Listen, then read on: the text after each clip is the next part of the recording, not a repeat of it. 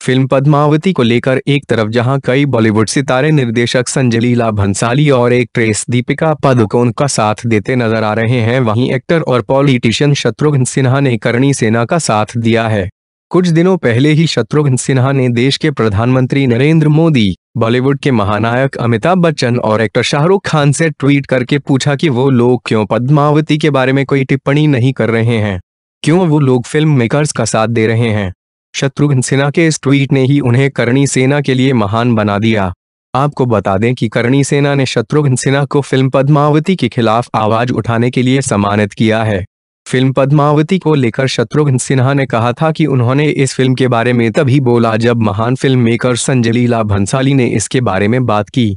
उन्होंने कहा कि वो क्या बात करते हैं उन्हें पता है और वो सबके सम्मान का ख्याल रखना जानते हैं। फ़िल्म के निर्देशक संजय लीला भंसाली को उन्होंने कहा कि उन्हें राजपूतों के सम्मान का पूरा ख्याल रखना चाहिए था। उन्होंने सेंसर सर्टिफिकेट मिलने से पहले मीडिया के लिए फ़िल्म की स्पेशल स्क्रीनिंग रखने के खिलाफ भी आवाज़ उठाई और संजय लीला भंसाली पर अपना गुस्सा जताया। उनके इसी व्यवहार के चलते करणी सेना उनसे खुश हुई है और उन्हें सम्मानित किया है।